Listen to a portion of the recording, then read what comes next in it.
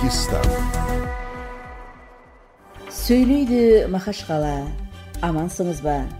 Россияның радиосының фмінің махашқала бойынша 105 6 толқынында дербент бойынша 104 9 толқынында хасавюрт бойынша 101 толқынында ана тілімізде соңғы хабарларды тыңламаға боласыз. Микрофонда зафира магомедова режиссерлық пультта аида гасанова. Дағыстанның құрылыс министерствосы россия деп аталған форумда тематикалық күнінің рамкасында өзінің стендін көрсетті. Оның презентациясында министрдің біраз болжалға борышын толтырушы александр нестеров ем оның орынбасары салам гасаниев ортақшылық еттілер. Ведомствоның жетекшілері солай оқ бірнеше шараларда да қатынастылар. Сөйтіп донецк ем луганск халық республикаларының херсон ем запорож областьтерінің территорияларында инфраструктура өстіру деген сессияда сосы регионларды аяқ үстіне салудың тамамларын келтіруге ем алдыдағы мақсаттарды белгілеуге бағытталған төрт сыпырада ортақластылар онан соң қалалардың керектігісіне қарау төгерек яқ сообщество экономика деген хабарласудың рамкасында төгерек яқты оңайлы етумен байланысты сұрау да қаралды. Дағыстанда жиырмадан артық компаниялар каспий кластерінің резиденттері болмағы деп өз мұратларын білдірген. Ол россия федерациясының кавказ управлениесімен яшауға шығарылынады. Оның ақында россия деп аталған выставка форумның туризмге бағытталған эксперттік сессиясының рамкасында білдіру етілінген. Управлениенің толтырушы директоры хасан тимижовтың айтуына көре корпорация он жылдар ұзағында әрекет етеді эм сырт кавказ федералдық округінің территориясына резидентлерді эм инвестицияларды қызықтыруда үлкен сұлыбы бар. Дербенттің коньяк комбинаты 2024 жылда 300 миллион монет ақшады инвестицияды өсіруге жібермеге деп марат етеді. Оның ақында дағыстанның жүзін болдыру бойынша комитетінің пресс орталығы білдіреді. Сонымен предприятиеге 17,9 проценттен алып 514 1000 декалитрге дейін әзір продукцияды болдырмаға еп жоқ ол. Муниципалитеттің пресс орталығынан білдіре таған кепте карабудакент районының орталық кітапханасында сен біздің есімізде эм жүрегімізде сталинград деп аталып алтыншы оныншы класстардың оқушылары үшін естелік дерістері болып өтті. Кітапханада сталинград қауғасына бағытталған кітап выставкасы да ұйғыланған еді. Шарада сталинград қауғасының ортақшысы магомед рашад канзитдиновтың ұлы магомед мурат канзитдинов районның ясли советінің председателі абдулгамид мамагишиев кпрфтің карабудакент райкомының бірінші секретары фатима эльмурзаева ем өзгелер қатынастылар. Елғанларға кітапхананың бас библиотекары азинат пашаева сталинград қауғасы ақында қызықлы хабарлау етті. Онан соң оқушылар сталинград өзгерісімен байланысты болып ұлы аталық соғысы ақында кітаптармен таныс болдылар.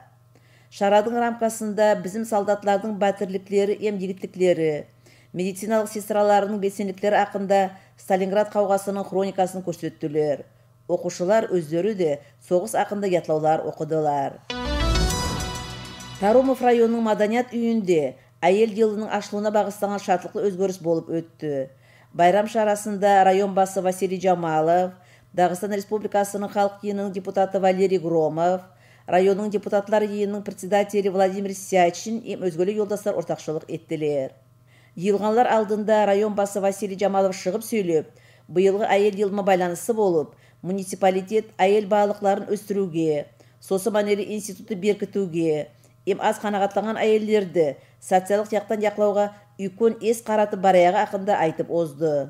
Ол солай оқ, райондағы көплеген әйелдер, ямағат яшауда қатнаса тағанлары, ем бұяғынан районның қысқы яқылар советі белсен кепті әрекет ете тағанды белгілеп кетті байрам шарасының барысында василий жамалов районның 27 сыйлы әйелдері сүйім ем алалық үшін деген медальмен сауғаланғаны ақында да айтып озды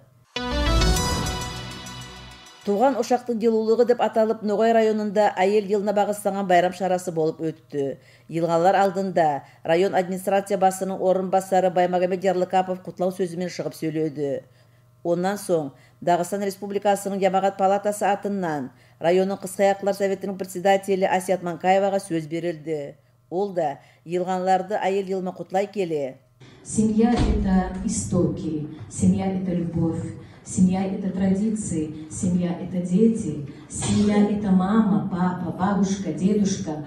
Я думаю, что можно перечислять очень долго, и мне приятно сказать, что э, будучи, э, работая значит, в социальной защите, я вспоминаю, что у нас было семей где-то в 2015 году многодетных около 600.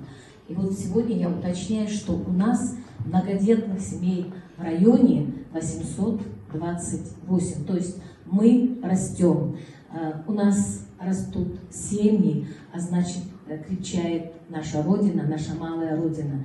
Я хочу сказать о том, что наши дагестанские семьи, семьи нашего района в основном это многодетные, которые имеют далекие корни прошлого. И благодаря, наверное, этому прошлому, э, любви э, друг к другу, уважения к старшим, понимание поддержки друг друга – это самое главное. И хочу сказать о том, что выходя из родительской семьи, наши дети приобретают еще большие знания уже и большие познания мира, получая навыки в своих семьях. И могу сказать о том, что мы это видим, э, когда наши дети проявляют мужество, отвагу, участвуя в специальной военной операции. Айтып озайық, байрам шарасында айрым соғыстық операцияда ортақшылық ететағанлардың, көп балалы әйелдердің, солай оқ түрлі тармақларда әрекет ететаған әйелдердің вәкілдері ортақшылық еттілер. Кештіктің соңында оларға район администрациясы атынан, Дағыстанның Қысқы Аяқлар Союзының регионалдық жамағат организациясы атынан разылық хаттар тапшырылды. Біз соңғы хабарларды бердік.